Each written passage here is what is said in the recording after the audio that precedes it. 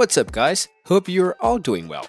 In today's video, we're going to discuss why Mila Kunis was replaced in Ted 2. Actress Mila Kunis was so good at Ted that she was nominated for a Critics' Choice Movie Award, an MTV Movie Award, and two People's Choice Awards.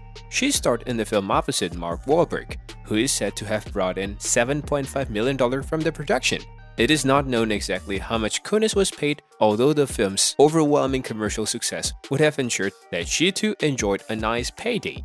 After principal photography wrapped within two weeks in May 2011, Ted was released in June of the following year. About two months earlier, Kunis had officially started dating Ashton Kutcher, with whom he had previously starred on that 70s show. The couple's relationship blossomed quickly and they got engaged about two years later. In July 2015, Kunis and Kutcher walked down the aisles in Oakland, California. A month earlier, Wahlberg returned to the big screen for 2 along with Seth MacFarlane, Giovanni Ribisi, and Jessica Barth. Morgan Freeman and John Slattery also joined the cast, having never been in the first film. Evidently absent from the action, however, was Kunis.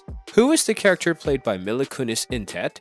On DirecTV, the synopsis for Ted's first movie reads When John Bennett was a kid, he wanted his beloved teddy bear, Ted, to come to life. 30 years later, foul mouthed Ted is still John's constant companion, much to the annoyance of Lori, John's girlfriend. Although Lori's discontent is exacerbated by the couple's constant consumptions of beer and wheat, she's not the one who is most disappointed in John. John's childhood toy may need interventions to finally help him grow. Ted was conceived by Family Guy creator Seth MacFarlane, who co-wrote the script with his frequent colleagues Alex Sulkin and Wellesley Wild. MacFarlane also voiced the titular character, with Mark Wahlberg playing his best friend John. Mila Kunis played John's girlfriend Lori, who leaves him desperate for the incredible amount of time he spends with Ted. The teddy bear helps them stay together and they also get married at the end of the movie.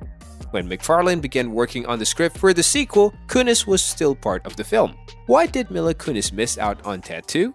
As plans for the productions of Ted 2 were kicking off, things were also starting to get pretty serious between Mila Kunis and Ashton Kutcher. Eight months after their engagement in February 2014, their first daughter Wyatt Isabelle Kutcher was born. The arrival of the new bundle of joy for the Kutcher family coincided with the filming scheduled for 2, which took place between July and November 2014. In February of the following year, Kunis held an Ask Me Anything sessions on Reddit Second Toe News.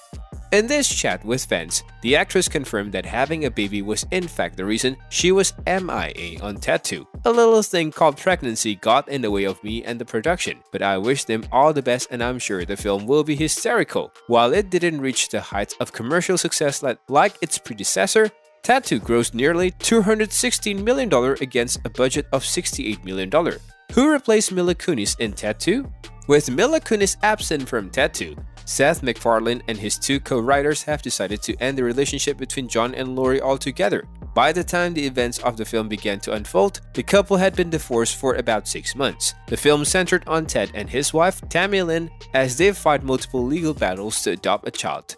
While John tries to help his friends in this quest, his path crosses that of Samantha, Sam Leslie Jackson, a young lawyer trying to solve Ted and Tammy Lynn's problems. John and Sam eventually fall in love, and at the end of the film, they seek a relationship.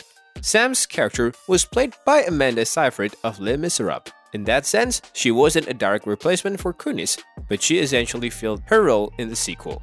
Kunis took a short break from acting after her daughter was born. In her questions and answer sessions on Reddit, she said, Motherhood is the most life-changing experience you can have, in my opinion. I'm proud to be a stay-at-home mom camera. Tell us in the comment sections your views on this topic. Alright, that's it for today's video. If you like watching our content, please consider subscribing to our channel by clicking the subscribe button down below. Thank you for watching.